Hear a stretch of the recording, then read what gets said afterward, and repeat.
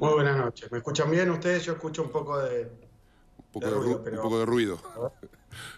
ya está, está habituada al lenguaje, al lenguaje televisivo. Gobernador, se cumplió un año de su mandato. ¿Qué evaluación puede hacer?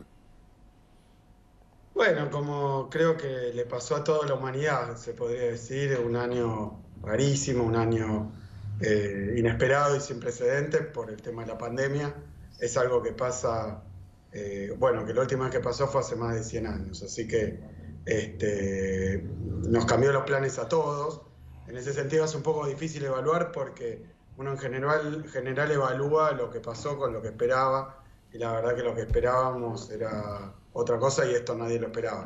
Entonces creo que en el término de evaluación lo primero que hay que hacer es hablar de la respuesta a la pandemia, que es lo que está preocupando hoy de nuevo al hemisferio norte especialmente, que está con un brote grandísimo. Estos días son los más contagios, más muertes de toda la historia del coronavirus. Tal vez acá, como estamos ya en temporada de más calorcito, pero también con sus cosas porque en la región se están viendo crecimiento de casos y acá tenemos que seguir cuidándonos. Pero tomando esto, lo que te diría es que el principal peligro era quedarnos sin camas, porque cuando empieza la epidemia, lo primero que vimos en los canales de televisión fue lo que ocurría en España, lo que ocurría en varias partes de Europa, en el mismo en Estados Unidos, y era eso de, bueno, fosas colectivas, de, problemas en la atención, de enfermos en los pasillos, de tener a un médico que cuente llorando, no sé si se acuerdan ustedes esas primeras imágenes a mí me quedaron llorando que tuvo que sacarle el respirador a una persona para dárselo a una menor. Son situaciones muy dramáticas, como lo es todo lo del coronavirus, pero evitables. Eh, ahora estamos viendo un segundo brote donde vuelve a pasar lo mismo en los mismos países que antes, o sea que pasaron dos veces por lo mismo y no pudieron dar una respuesta, por lo menos que evitara, como pasó hasta ahora acá, en la provincia de Buenos Aires, que, pasara, que, hubiera que elegir a quién eh, dejar morir. Me parece que fuera de toda la calamidad del coronavirus, ese era un tema que se podía evitar y se evitó, y no se evitó fácilmente porque encontramos una estructura hospitalaria muy, muy deteriorada, muy deteriorada, sin insumos, sin nada, y en marzo empezó la pandemia. Tuvimos que traer aviones desde China directamente, 21 aviones, nunca se hizo, y la verdad que es difícil evaluar eh, la acción de gobierno con un escollo de este tipo.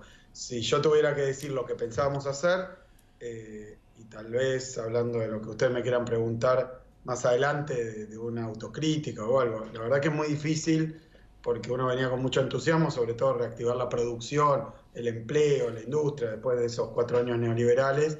Y la verdad que empezamos y hasta marzo veníamos con toda una serie de decisiones y hubo que cambiar el curso totalmente y entramos en una crisis que yo veía en Gran Bretaña es la peor en los últimos 300 años o sea, desde el origen del capitalismo prácticamente.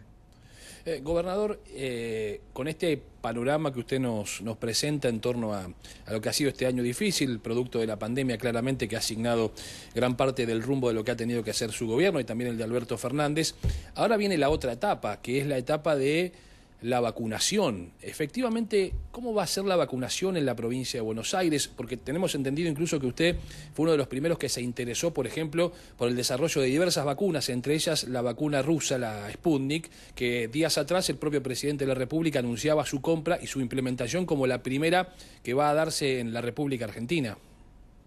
Mira, si alguien recuerda, en ese momento que dábamos una conferencia de prensa con la reta también, eh, yo no me acuerdo cuándo exactamente, pero fue más o menos cuando me enteré de que apareció la primera vacuna, dije es por ahí, y iniciamos acá en la provincia un contacto con todos los que pasaban a, fase 3, que se llama, o sea, con vacunas que hubieran superado la primera parte de testeo, que es lo que determina si la vacuna es segura o no segura, hasta la fase 2. Después lo que se va viendo es su efectividad en términos de cuánto dura la protección, y otros temas que no puedo decir que son menores, pues son de salud, pero distintos. Entonces nos empezamos a contactar desde la provincia con algún proveedor de China, algún proveedor, bueno, el fondo este de inversión de Rusia, aunque ahora hay otra vacuna más en Rusia.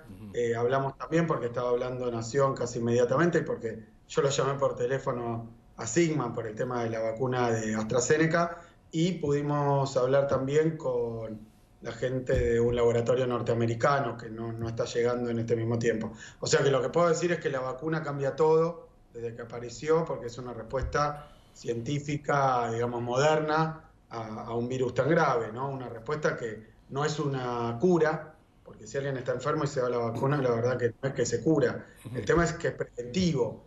Entonces tenemos un instrumento para combatir al coronavirus. Hay varios proveedores, nos contactamos con varios.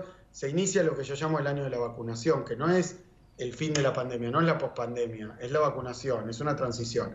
Esa transición va a permitir que a medida que vayamos recibiendo dosis, tenemos planteado, y a veces probablemente el que no sepa cómo es esto, diga, ah, bueno, vienen a vacunar.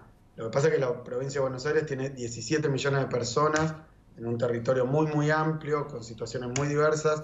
Hay que armar una logística que, le digo con toda certeza, nunca se planificó ni se hizo en la historia. Como tampoco nadie pasó una cuarentena de este tipo y tuvo que ampliar 1.300 camas de terapia intensiva en tres meses.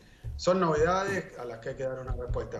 Estallan los países o no llegan, nosotros pretendemos que la provincia de Buenos Aires, más allá de todo lo estructural que tiene, pueda decir, nosotros tuvimos los respiradores, nosotros tuvimos la vacuna. Después van a ser meses de vacunación, porque algo rapidísimo es 2 millones por mes de personas. Y a 2 millones por mes, vacunar 12 millones que sería para lograr la inmunidad, más o menos el 60% de los habitantes de nuestra provincia, llevaría como seis meses.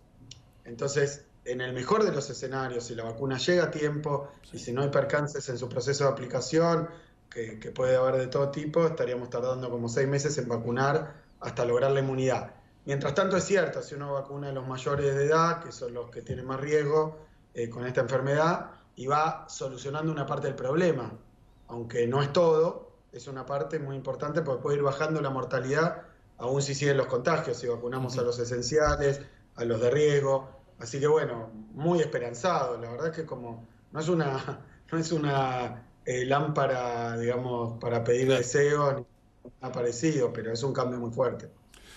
Gobernador, al inicio de la cuarentena, la justificación que se encontró para, para digamos, para imponerla, por definirlo de algún modo, fue entre la economía y la salud, priorizamos la salud. Desde el Gobierno Nacional, lógicamente que no fue una decisión suya, pero imagino que usted habría acompañado eh, esas medidas, ha acompañado esas medidas este, desde, desde la convicción también, ¿no? no solamente por una cuestión de, si se quiere, de obediencia partidaria.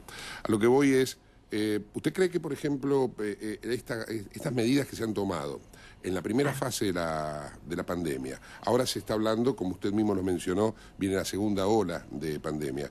Y es probable, no digo que sea seguro, pero es probable que el gobierno recurra a las mismas medidas que tomaron en la primera fase. ¿Usted eh, considera que se deberían aplicar las mismas fórmulas o habría que modificar algo? Mira, estoy chusmeando el teléfono porque me encantaría un segundo compartir con vos. Nada, es un segundo, eh, una noticia que acabo de leer. A ver. Eh, que dice, em, uh, bueno, que habla de que Suecia y Alemania habían decidido mantener abiertas las escuelas y ahora deciden cerrarlas. Sí, hasta el 10 de enero. uh, Alemania y Suecia, em, que han cambiado varias veces las políticas ante el coronavirus. Yo creo que el coronavirus, por eso es algo que hay que evaluar también cuando afortunadamente podamos cerrar la historia del coronavirus, porque hay países que han cerrado mucho, hay países que han cerrado poco y después cambiado la estrategia, hay países que han cerrado durante un tiempo y luego abierto y después encontraron un segundo brote muy violento, hay países, es decir, y además cada país es difícil de comparar con el otro, decir que, qué sé yo, no sé exactamente, pero tendrá una cantidad de habitantes entre 5 y 10 veces más chica que Argentina, son países más chicos que mi provincia, eh, eh, los escandinavos. Entonces, comparar la experiencia en economías muy avanzadas, en economías con climas muy distintos, pero aún diciendo eso, lo que yo creo es que se está haciendo camino al andar ¿no? con el coronavirus y que mm, aquí una de las primeras cosas, por lo menos que a mí me preocupaba, era que si acá nos pasaba como, como pasó en algunos países, incluso en la región, y hoy está volviendo a pasar, nos hubiéramos quedado sin instalaciones para dar atención porque los contagios es algo, y los fallecimientos es algo que no sé la estadística y, cuándo va a ser el momento adecuado para ver cuál fue eh, la estrategia más exitosa. Por ahora yo te diría fracasan todas casi, porque lo que se quiere es evitar contagios y muertes y la verdad que estos brotes, rebrotes, en Estados Unidos van por el tercer brote, con estados que fueron muy restrictivos, estados que fueron muy abiertos. Todos tuvieron problemas económicos y de nuevo, eh, cada economía, por ejemplo, a nosotros una cosa que nos afecta mucho es el comercio mundial, más allá de lo que hagamos. Eh, yo creo que lo de cuidar la salud eh, nos permitió a nosotros que no tengamos que vivir, que el trauma es horrible porque todos conocen a algún familiar, algún conocido, ahora ya son públicos, ¿no? Y, conocidos por todos los que, los que terminan este, falleciendo por esta horrible enfermedad. Pero, y eso no tiene un número para ponerle, ¿no? Eso son pérdidas. Incluso gente de 80 años dice, bueno, murió, pero tenía 80 años, podía haber vivido este, 10 más. Eh, ¿Por qué le vamos a cortar la vida con un virus? Entonces, creo que es muy difícil de comparar. Ahora, siendo muy sincero, eh, me parece que si nosotros no nos hubiéramos tomado esos primeros meses de caída muy fuerte de la movilidad, eh, estábamos condenados a tener que decidir quién se moría. condenados. Porque. ¿Hola, se escucha? Sí, sí, perfectamente. Ah, me pareció una ventanita que no entiendo. Bueno, pero ustedes me ven bien. sí, sí, perfecto. Bueno, em, las delicias del coronavirus. No, lo que quiero decir simplemente es que em, el tipo de medidas, por ejemplo, hoy se conoce mucho que la mayoría de los contagios ocurren eh, o es muy contagioso eh, tener reuniones en lugares cerrados durante un tiempo prolongado. Y al principio parecía que era más un tema de contacto, de tocar algo. Y hoy se sabe que al aire libre los contagios no se evitan, pero son menores. Hemos aprendido muchísimo. Ahora, lo que te puedo decir es que si nos quedábamos sin cama era algo que pasaba en los primeros meses y que yo miro a vecinos, incluso a provincias argentinas, que, tuvieron una situación más complicada, que la más complicada de las provincias, que la de Buenos Aires. Así que para nosotros fue fundamental. Y después también que, por más que hubiera decisiones, si uno mira indicadores de movilidad muy objetivos y muy comparables, como es la que hace Google o Apple con los telefonitos celulares, eh, lo que uno encuentra es que en Argentina, de caída muy fuerte la movilidad, hubo muy poquito tiempo. Después empezó, o porque ciertas actividades no pararon nunca, o porque aflojó también el miedo de la gente, que es otro factor, viendo las imágenes que se te quedan clavadas, ¿no? Em, entonces, eh, tiene también toda una historia la movilidad independiente de las independientemente de las medidas. Yo creo que lo más significativo como factor, si me preguntás hoy, es la solidaridad de la gente que tomó medidas de protección, aún no siendo población de riesgo, porque uno podría haber dicho, si a mí se me puede presentar leve, ¿por qué? ¿Por qué lo voy a dejar de hacer? Es como pasar un semáforo en rojo. A mí todos los demás paran y yo no, ¿qué importa?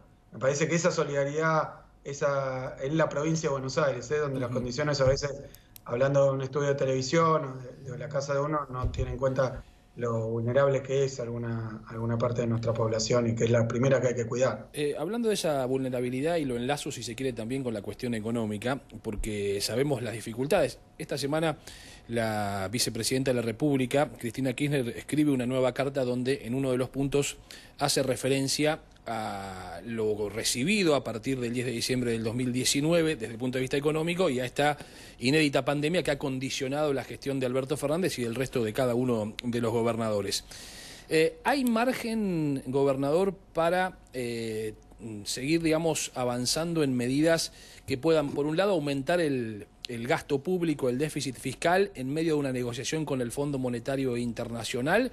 O se va a requerir de una ingeniería económica distinta a la que hasta, la que se ha visto hasta ahora, digamos, para que la Argentina pueda mantener esos equilibrios en un contexto económico que para nuestro país es muy diferente, quizá, recién usted lo planteaba, a lo que se observó en otros países con una economía mucho más firme, mucho más sustentable. Total. Mira, eh, vos sabés que me dediqué antes de, tomar responsabilidades en cargos públicos siempre a la docencia y la investigación en economía. Y uno de mis temas eran las crisis mundiales, históricas, que hubo. La verdad que yo insisto en que esta no es comparable a ninguna. A ninguna. De las que conocemos, estudiamos y sabemos cómo va a ser la salida, cómo se resuelve. Lo que sí sabemos es que, por ejemplo, en los primeros tiempos de la crisis, Alemania, que es un país muy conocido, y yo incluso tuve oportunidad representando a la Argentina de charlar con, los máximos responsables del Banco Central o de la economía alemana, tiene una, misión, una visión muy ortodoxa del tema déficit fiscal. Siempre opinaron que, bueno, era como una especie de, mala palabra el déficit. Y empieza esta pandemia y a mí me sorprendió porque esto lleva décadas esta política. el gobierno alemán eh, resolvió, y creo que su parlamento también, dejar de lado la política de austeridad histórica, por primera vez en décadas. O sea que la situación es tan peculiar, tan especial, que por más ortodoxo que se sea, se sea por las anteojeras ideológicas que pueda tener un economista, por el lugar que ocupen dentro de una institución como es el Fondo Monetario Internacional, recordando la, la experiencia histórica de crisis anteriores y mirando lo que está ocurriendo en todo el planeta, aplicar las recetas y las limitaciones habituales es un error muy grande que no creo que ni el fondo esté dispuesto a aplicar. Así que yo creo que eh, lo que va a estar haciendo todo el planeta, ni bien logremos sacarnos este, esta pesadilla encima, o a medida que la vayamos domando, con por ejemplo la vacunación de una parte de la población, es tomar las medidas de reactivación económica más efectivas que encuentre. Y obviamente cuando se toman medidas monetarias, eh, que bajar la tasa de interés, o sea, expandir la oferta de dinero, o sea, algunos dirían emitir, que es la cara de esto, todos dicen, uy, un espanto. Y cuando se aplica eh, políticas expansivas desde lo fiscal, como es el caso del gasto público, dicen un espanto. Pero bueno, eh, al mismo tiempo todo el mundo sabe que de las grandes crisis, sea 2001 acá a partir de 2003, pero también el gobierno de Dualde, de un signo distinto al de Kirchner de alguna manera, con Lavagna como ministro, eh, aplicó medidas expansivas. Pero esto tiene antecedentes históricos que, aunque no sepa nada de economía, te suenan. El New Deal después de la Segunda Guerra, o mismo el Plan Marshall después de, la Segunda Guerra Mundial, de la crisis del 30, quise decir. Entonces son eh, momentos en donde la economía privada está restringida, deprimida y con una confianza muy baja y una expectativa muy, muy desfavorable. Entonces es ahí donde el, gasto público tiene un papel de reactivación. En esto coinciden todos y, creo que el Fondo Monetario también, eh, porque en todos los países más ortodoxos se, hizo, se hace y se va a hacer. Gobernador, de cambio de tema, dejo de lado la pandemia, mm, lo va a tocar por ahí eh, el tema por digamos, levemente, pero tiene que ver con el aeropuerto del Palomar, se cerró. Como consecuencia de ello, las operaciones ahora se trasladan a Ezeiza. Eh, mucha de la gente que dependía del aeropuerto del Palomar como fuente de trabajo se ha quedado sin su empleo y hay muchos emprendimientos que también han quedado truncos frente a esto. Más allá del servicio que prestaba y que reactivaba toda la zona del Palomar, que usted como gobernador de la provincia conoce muy bien. ¿Piensa hacer algo al respecto?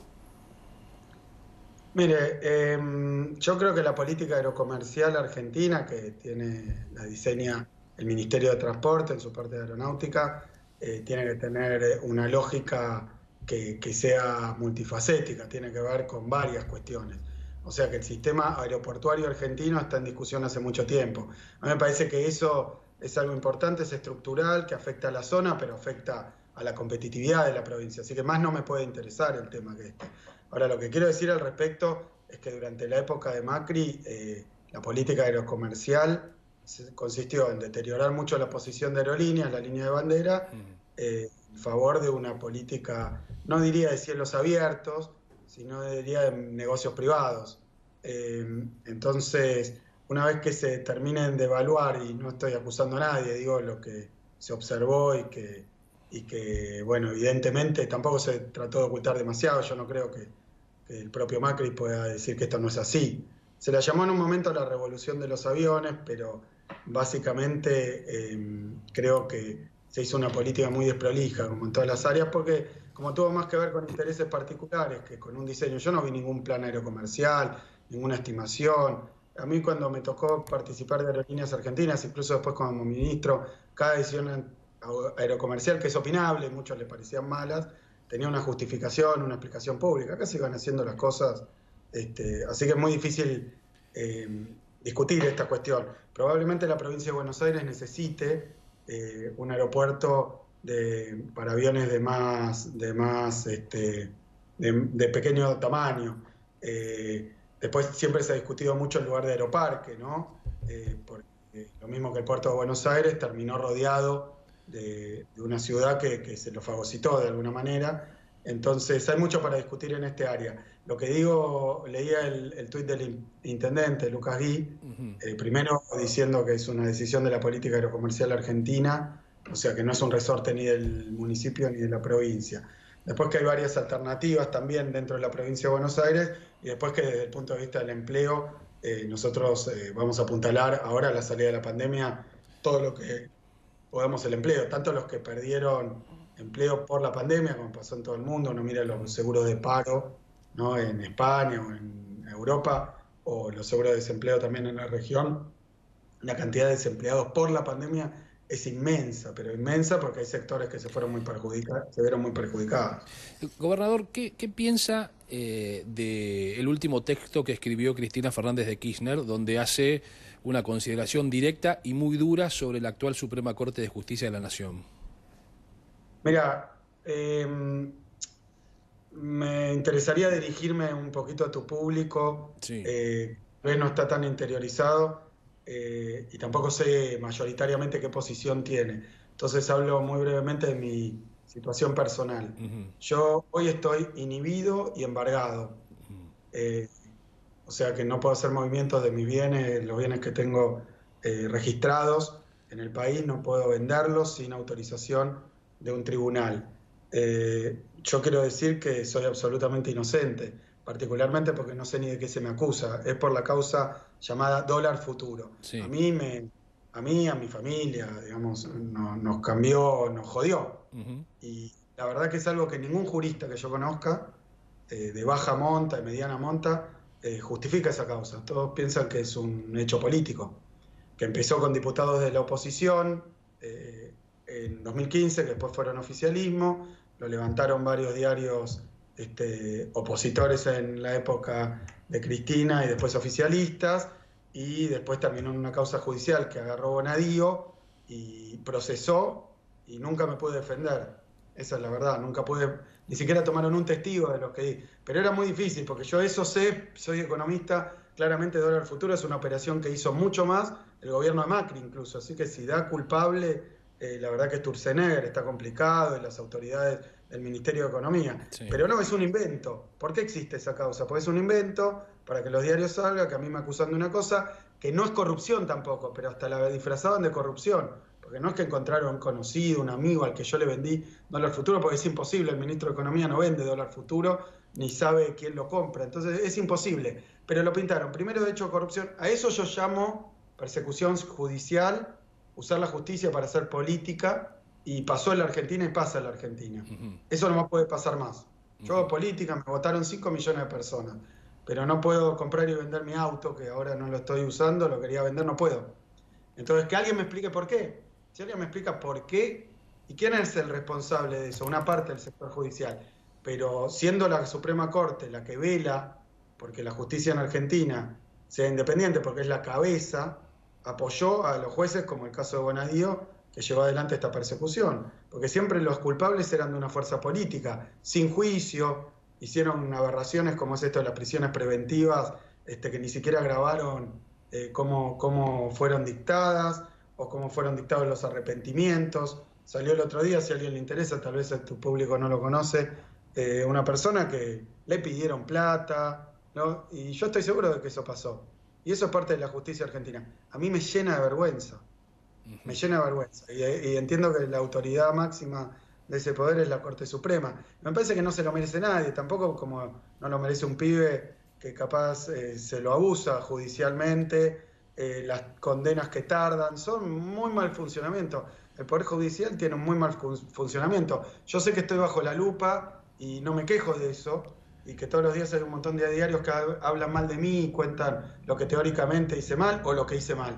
Eh, ahora, del Poder Judicial, eh, me parece que necesitamos más transparencia, más velocidad y además que no se lo use como instrumento político. Yo, el caso de Lula, que fue preso, eh, tal vez una parte de, los televidentes no conoce las causas. Yo me interioricé. Esto es falso. Esto es falso, es, es un fraude cometido por un juez, que Moro, que después fue ministro del gobierno que ganó gracias a eso. Así que todo eso es una aberración. Ahora, dejando de lado eh, el caso personal suyo, que usted lo trajo a cuento, nosotros le preguntábamos, mi compañero Sebastián le preguntó por eh, las causas de Cristina. Eh, pareciera ser como que el Senado se ha convertido en un lugar desde el cual hay que modificar la justicia, que la justicia hay que modificarla, sí, sí, eso está clarísimo y creo que toda la sociedad es consciente de eso que usted acaba de describir a muchos, muchos están todavía padeciendo, usted recordará y su, su conocimiento de la economía seguramente va a acompañar. El, que cae en el veraz no sale nunca más del veraz. Eh, aquel que tiene una causa judicial y lo embarga, Dios vaya a saber cuándo vuelve a poder disponer de sus bienes. O sea, usted lamentablemente, eh, me, hago eh, solidario con lo que usted está viviendo en algún sentido, lamentablemente está padeciendo las consecuencias de un sistema judicial que debe ser ayornado. Ahora, pareciera ser, dejando de lado esta cuestión, que Cristina, Fernández de Kirchner, lo único que tiene como objetivo es modificar el funcionamiento de la justicia para beneficio de sus causas judiciales, que no son pocas, que son muchas, y algunas de situación inminente. Por eso le pedíamos una referencia sobre ese particular. ¿Usted justifica esa embestida de Cristina contra la Corte, ahora apoyada por Alberto Fernández? Voy directo al caso. Eh, mirá, em, las causas donde eh, está judicialmente más avanzado eh, el proceso de Cristina, eh, son todas de Bonadío. creo que el 98% de Bonadío.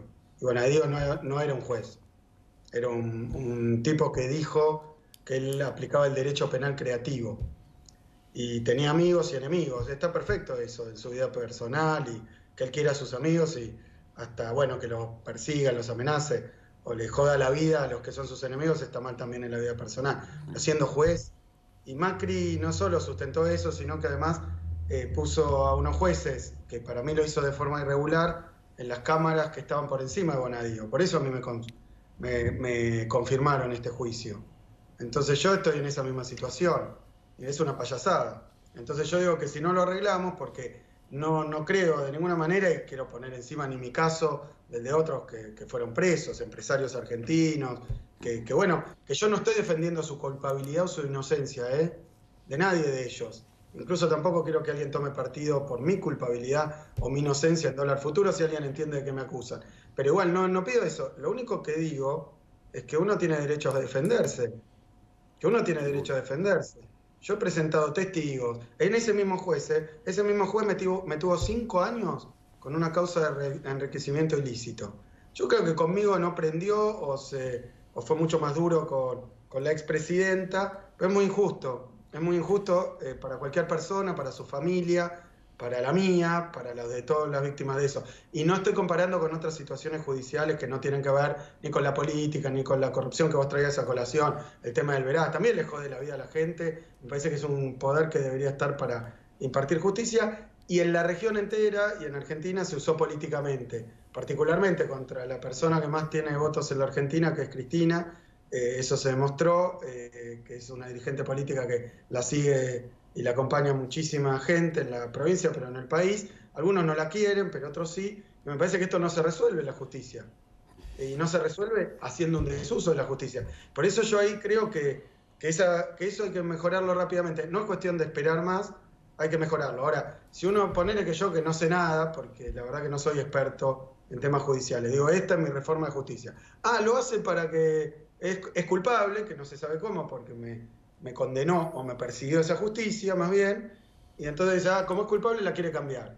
Entonces estamos realmente en jaque mate, es una encerrona. Si no hacemos nada, sigue así, tal vez a mí me condenan por algo que eh, realmente hubo hasta reacción internacional, es incomprensible. Fue Bonadío y la Cámara que está arriba. Entonces, eso hay que modificarlo, me parece, porque es muy injusto para todo el mundo y me parece que hay que enfocarlo. Yo vi unas encuestas donde eh, de los dirigentes políticos hay gente que confía, gente que no, y bueno, siempre se habla de eso. Pero después está el poder legislativo, hay gente que confía y gente que no. Ahora, el que peor le va es el poder judicial. Hace una encuesta entre todo No, seguro, estoy de acuerdo.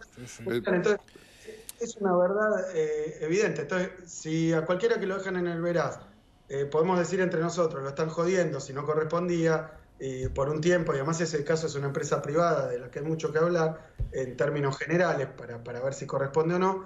Y después si es Cristina Kirchner, los que le gusta dice está bien y los que no le gusta dice está mal. Bueno, el juego Nadío yo lo digo con toda certeza, ¿eh? y lo lamento, lamento por sus deudos, por lo que lo querían. No es un tema de hablar, lo dije mientras estaba en vida. A mí me pareció Tuvo años en una causa de enriquecimiento ilícito porque en un diario dijeron de mi declaración jurada una estupidez, la levantó y se puso a investigar. Libró exhorto, le salió una fortuna al Estado por algo que estaba en mi declaración jurada. Yo creo que si levantaba el teléfono y me preguntaba, lo resolvíamos en cinco minutos, pero la propia declaración estaba bien. ¿Cómo se explica? Ese es el juego nadío, ese fue el juego nadío, y varios de los camaristas que fueron tomados para beneficiar al gobierno de entonces, en determinadas cámaras. Yo quiero que se juzgue a todo el mundo. Yo me defiendo ante todo el mundo. Si me dejan, si no me dejan, algo anda muy mal, muy mal. Gobernador, le hago la última pregunta de mi parte y lo llevo al terreno directamente de la política con dos temas que están en la agenda, al menos de la dirigencia política, por estas horas, eh, y una presentación que han, que han hecho ya en la Cámara de Diputados de la Nación. ¿Usted está de acuerdo con eh, postergar o suspender las pasos del año próximo en, en la República Argentina, y en este caso en la provincia de Buenos Aires? Y también le pregunto qué opinión tiene sobre la limitación de la reelección de los intendentes, tema que se está discutiendo por estas horas ambos temas son dos temas sobre los que no decido directamente, eh, y, pero, pero te voy a dar mi opinión. Mi opinión es que este ha sido un año muy especial. Obviamente si teníamos elecciones en, ¿qué te puedo decir? Septiembre hubiera sido muy complicado, estábamos en el pico. Esperemos que llegue un segundo pico. Eh, reitero y aprovecho que se cuide todo el mundo porque hay que seguir con el lavado de manos, con los tapabocas, y lo reitero, y todas las veces que reitere esto, es poco, a algunos les suena antipático decirles que se cuiden, que se limiten, pero prefiero ser antipático y responsable, lo voy a repetir, no terminó, hay riesgo en la región, hay que seguir cuidándose. Ahora, en medio de una pandemia, eh, se perturba todo, se perturbó el transporte, la producción, obviamente el año electoral también estuvo eh, en cuestión. Me parece que el año que viene, por lo menos como te decía recién, yo hasta julio voy a estar vacunando probablemente. Entonces va a seguir la pandemia porque mientras se vacune va a haber que cuidarse. Entonces lo que yo digo es que eh, me parece que no se trata de un tema eh, de oportunismo, me parece que se trata de un tema que en un año tan especial convendría discutir. Capaz que podría decirse, mira, si vuelve con los fríos, los contagios o y empezar a discutirlo, porque si no vamos a estar en campaña en abril y todos van a decir, estos tipos están en campaña cuando tendrán que dedicarse a la vacunación, tendrán que dedicarse a... Así que me parece que es un año muy especial. Obviamente no lo quiero exagerar, no es que entonces no se pueda hacer una elección, no digo eso, digo que amerita la particularidad de este año discutirlo y creo que habría que llegar a un consenso. Obviamente, eh, si cada uno juega por cómo le convenga, eh, eh, según la especulación que tiene política o electoral, me parece que no lo vamos a poder discutir de cara a la sociedad. Yo le digo a la sociedad, si hay gente que está con miedo de salir, eh, obviamente eso afectaría la, votación. Esperemos que no, pero sería agosto y creo que estamos encima de alguna manera y me parece que tiene sentido discutirlo y, hacerlo francamente. Después tirarse con oportunismo, no oportunismo y ya embarra la discusión y el que tiene una opinión la va, la va a teñir de interés. Gobernador, ha sido muy amable eh, por esta charla con Canal 26 en esta noche de domingo. Eh, le agradecemos su tiempo. Buenas noches. Muchísimas gracias a ustedes. Un año difícil, pero hemos hecho muchas cosas este año. Fuerte abrazo. Gracias, gobernador. Adiós, hasta luego.